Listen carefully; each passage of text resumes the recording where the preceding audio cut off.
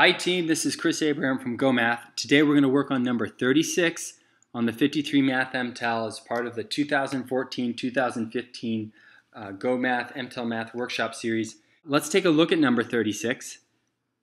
Even at a glance, we can pull out a lot of information.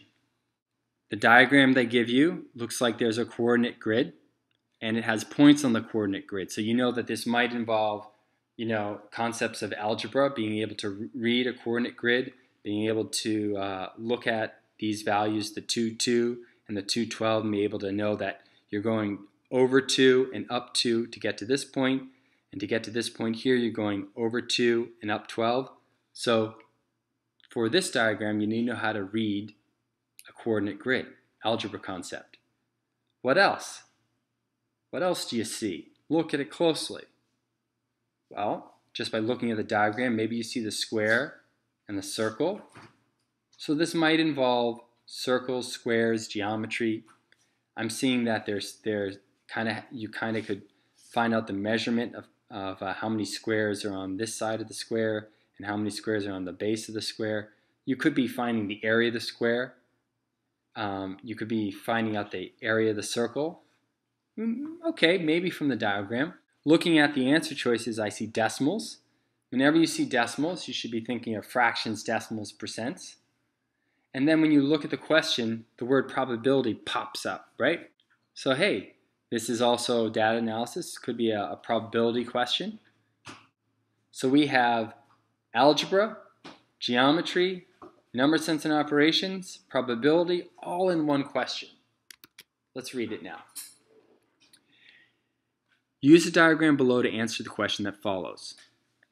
If a point is randomly selected within the square shown in the diagram above, what is the approximate probability that it will be a point within the circle?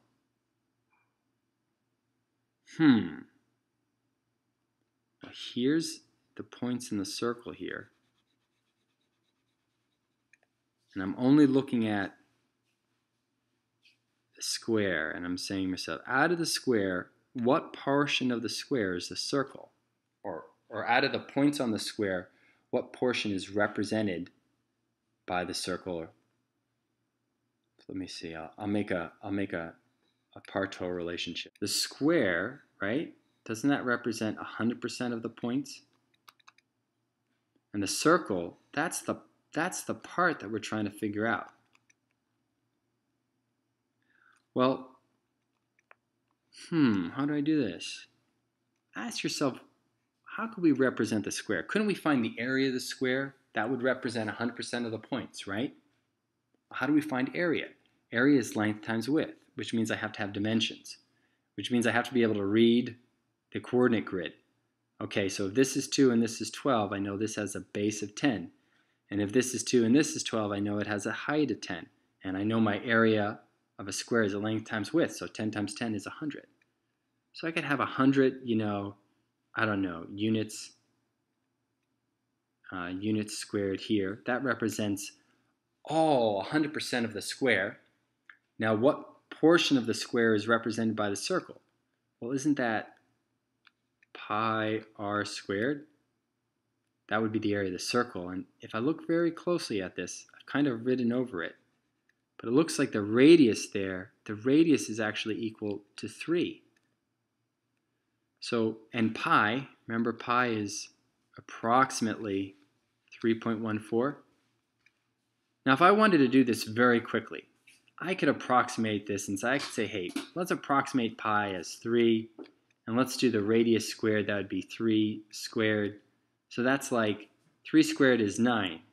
9 times 3 is what? So 3 squared is 9 times pi, or an approximation is 3, so 9 times 3 is 27. And I would get 27 over 100. I get the decimal representation of this could be um, 0.27. And isn't 0.27 approximately a? Hmm? Hmm? If I had a pizza pie and I asked you what portion of the pizza pie is shaded, automatically you would, you would represent the part to whole relationship as 1 out of 4. And if I asked you, looking at this visual, to represent this not as a, as a fraction, but as a decimal, you could be like, most teachers could be like, what's the decimal representation of this pizza pie shaded? Most of you would be like 0.25. Because you, in your mind, automatically, you were able to, to determine the part-total relationship, the part that's shaded out of the whole, and you knew, because you do it so much, that 1 fourth is equal to 0.25. Okay. Well, this problem is just is exactly the same, except we had a in our part-total relationship was the area of the square compared to the, area, the area of the circle compared to the area of the square. And we, we did some very quick calculations to come up with that the area of the square is 100 and the area of the circle is approximately 27. Okay, and, and I know how to convert uh, fractions with 100 in the denominator into decimals very quickly, come up with the answer very quickly, or at least an approximation. And the only answer that's coming even close to my approximation is A. And there is actually a fork, where we see one answer that's really close, and the others, especially C and D, are really way, far, way off. And if you were thinking about these in terms of 50% and 70%, you might be right away be able to say, hey, that circle is not 50%. This would be 50% of the square, right? That would be 50% of the square. So I, I, I know that it's clearly not going to be C, and I know it's not going to be D because D is even more than 50%. Okay? All right, team, I hope you found this video helpful. This is Chris Abraham from GOHmath. The more we do these problems in this next set of videos, the more we're going to look at more advanced concepts, problems that are going to be mixing in, you know, algebra, geometry, probability, number sense and number sense uh, concepts. So it's going to be much more of a mix, which means if you haven't watched the earlier videos, you might want to, because these other problems are going to mix in all those ideas. Okay, team, this is Chris Abraham from GOHmath. Hope you enjoyed this video. Have a great day. Take care. Bye-bye.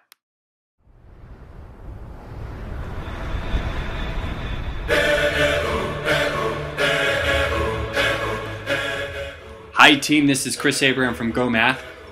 This spring and fall, we're hosting a whole brand new series of workshops for teachers for math, science, English, and history.